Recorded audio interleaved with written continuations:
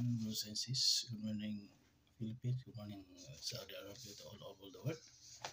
Ang atong topics for today is, is just uh, it's very simple uh, topics but it's uh, we can learn this one. Uh, our topic is how can we maintain our uh, healthy weights.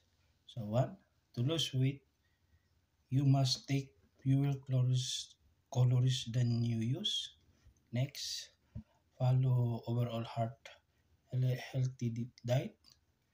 Get and stay physically active. So that's the only three, but it's very important, especially now hot season. So if we are bigger, mag-prepare, uh, mag-diet, uh, physically active ta. So jogging, ana. So this is just uh, our uh, daily routine. To lose weight is very hard. To lose weight. Lisod. Magpagamay kung dako na ka. So hinahinay lang para. Pero kanunay so this is just a simple tips from our safety department. So safety first and always be active.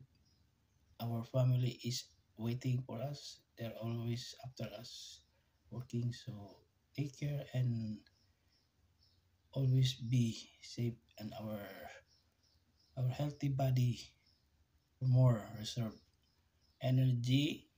So be careful. Thank you for watching